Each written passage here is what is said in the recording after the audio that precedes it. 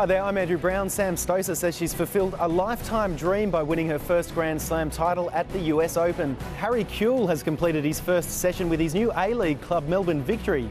You've made some interesting comments about Will Genia's importance to Australia's World Cup campaign. Just how pivotal a player is he? Why, why don't we take off the silver all the time like we used to in tennis?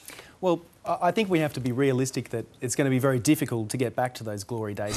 The Australian cricket captain is here and he joins us now. And Michael, you're not about to go from baggy green to galloping green, are you? No, I'm sticking with cricket. Phil, thanks for joining us. And just how big an event is this and how lucky are we to have it in Australia? It doesn't get any bigger in the world of cycling, Andrew. Now, Andrew, it was a bruised and battered Lockyer at training today. Brad, he looked a little bit like the Terminator, but that's hardly surprising when you consider it was only two days ago that Lockyer had three metal plates inserted into his face. Yes, good afternoon, Robin. Gai Waterhouse described it as a dream come true to take out this afternoon's $2.5 million feature. Her father, the great TJ Smith, won the race four times, but this was Gai's first win in the Caulfield Cup. It's one of the most beautiful offices in the world, and it's housed Bart Cummings for decades. But Flemington Trackwork has been missing the master trainer this spring. Uh, Gai thinks that uh, uh, the second horse is worth 50 million. My goodness, what is the winner worth? and celebrations like these could be commonplace for Bart & Co this spring carnival. Four years later, the son of one of those horses, racing under the name of Comedy King, won this, the 50th Melbourne Cup.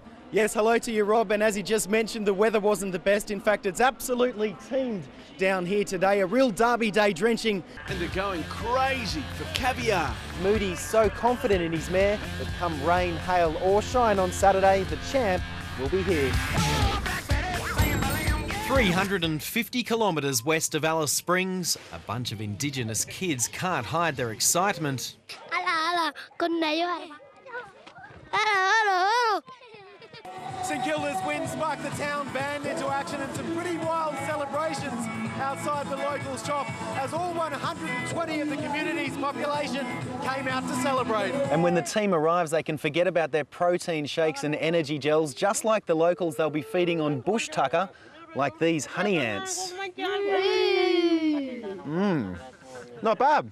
And temperatures can reach a staggering 60 degrees Celsius. Try coping with that on an eight hour drive. Ready to go? Let's do it. Richards only has 30 horses on his books and almandoro is his only runner on Saturday. He's also the most expensive horse Richards has ever raced. Congratulations to our reporter Andrew Brown. Andrew has taken out the Melbourne Racing Club's award for Best Television News Coverage of the Caulfield Cup. He does a terrific job during the Spring Carnival down there in Melbourne. And that's not the first award he's won? No, he, he does very well each year. Yeah, it's Brownie's shout tonight.